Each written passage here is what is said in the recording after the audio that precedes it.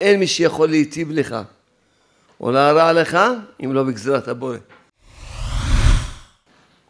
דבר שכתבתי אותו בספר בגן האמונה, כל דבר שבא אליך אפילו מבני אדם, אז צריכים לדעת שהכל מת השם. אמרתי לכם, אחד הדברים הקשים באמונה, שאדם כשבא לו, נהיה לו רע ממישהו, אז קשה לו להאמין שזה השם. הוא אומר, לא, זה פלוני, פלוני עשה לי. קשה לו להאמין, לא, זה השם. קשה לו. ואמרתי לכם, יש כלל באמונה, שאין מי שיכול להיטיב לך או להרע לך, אם לא בגזירת הבורא. מי נתן לו כוח לאותו אחד שהזיק לך? מי, מי החיה אותו?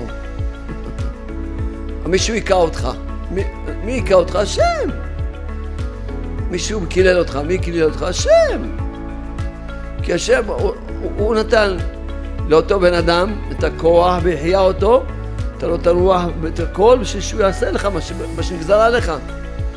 נגזר עליך, היה לך גזרה, לך, היה לך גזרה שככה יהיה לך הנזק הזה. אז אמרו לו, לא, פלוני עשה לי, מה פתאום?